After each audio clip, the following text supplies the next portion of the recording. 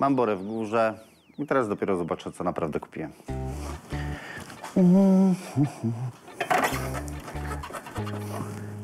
Wahaczyk.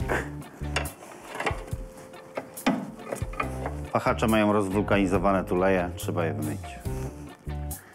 Łączniczki. Łączniki stabilizatora, jak już się odkręcę, to też je wymienię. Sprężyny. Widać, że świeże ktoś założył. Ktoś zainwestował w ten samochód. Nowe zaciski, tarcze. Pewnie klocki.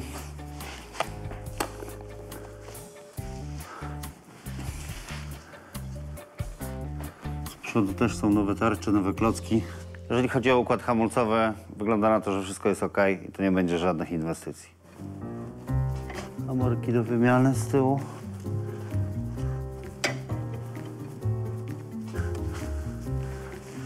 Widać, że są nowe poduszki, ale ktoś amortyzatory zostawił.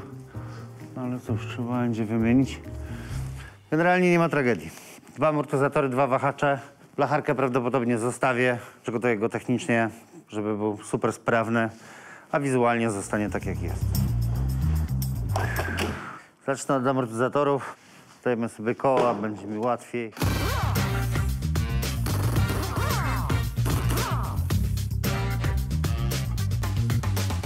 Pneumat i kompresor, dwaj przyjaciele z boiska.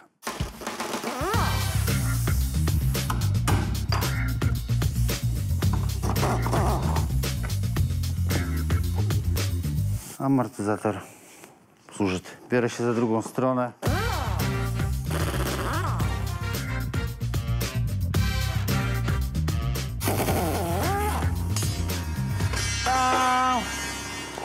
Delikatnie się zapomniałem. Prężyny wypadły, a nic się nie dzieje.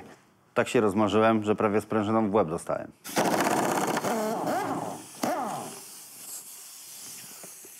Amortyzatory są stare, spracowane, nadają się tylko dla, na śmietnik. Tył samochodu czeka na nowe amortyzatory, biorę się za przód.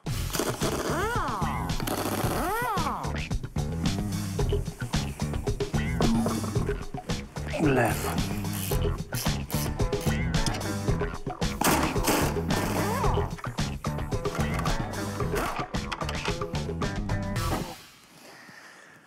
stary wachaczek.